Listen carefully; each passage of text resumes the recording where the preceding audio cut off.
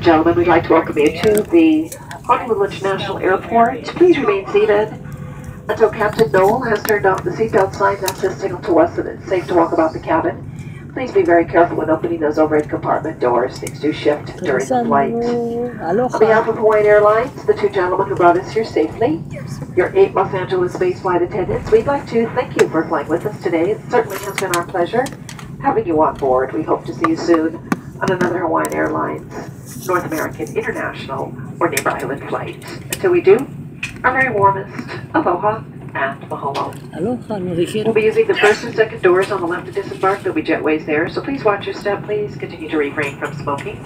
This is a non-smoking terminal. You can claim your bags at the Hawaiian Airlines Baggage Carousel B. It is situated at the lower level of the Neighbor Island terminal.